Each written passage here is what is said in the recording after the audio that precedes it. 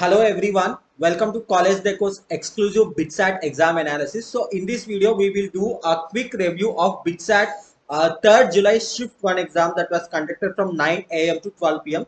This video is just a basic analysis based on the uh, base, uh, feedback we received from students so far. We are doing this analysis. So as per the feedback we received from students like 4 to 5 students, the overall difficulty level of the paper can be treated as moderately easy. It was not uh, very easy or it was not very difficult. The paper was moderately easy only or we can also say it as a moderate paper.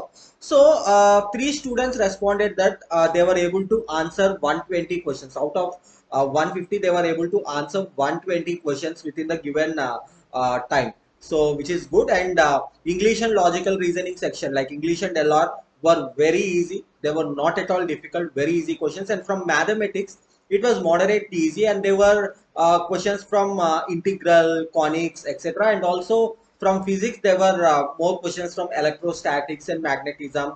And chemistry paper was balanced. Like it was uh, organic, inorganic, and physical chemistry, everything was balanced. So we will do a detailed live session, detailed live session of BitSat 3rd August analysis in the evening at 7 p.m. We have already scheduled the live. You can set reminder for the live session. Also, if you had appeared for the exam, if you had appeared for the exam, please share your feedback through the student feedback form available under this video.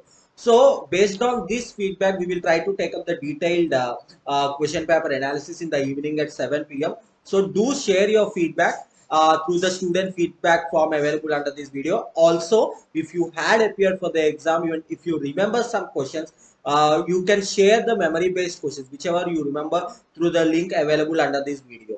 So we will meet at 7 p.m. with detailed BitSat analysis of 3rd August. Stay tuned to CollegeDekho for more updates on BitSat exam. Thank you.